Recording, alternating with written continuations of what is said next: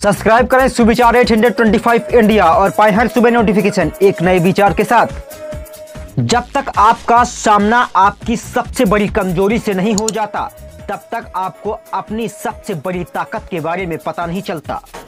यदि आप सच बोलते हैं तो आपको कुछ याद रखने की ज़रूरत नहीं रहती। प्रतिभा अपनी राह स्वयं निर्धारित कर लेती है और अपनी दीप स्वयं ले चलती है।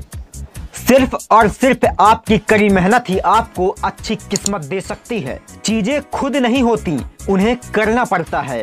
केवल थोड़े से कुकर्म बहुत से गुणों को दोषित करने में समर्थ होते हैं। जो मनुष्य अपने क्रोध को अपने ही ऊपर झेल सब्सक्राइब करें सुविचार 825 इंडिया और पाए हर सुबह नोटिफिकेशन एक नए विचार के साथ।